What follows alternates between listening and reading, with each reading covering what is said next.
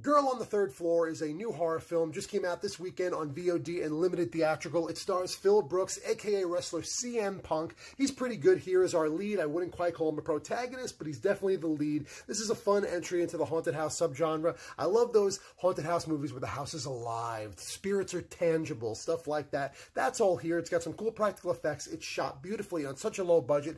Definitely a mixed bag though, but worth a rental.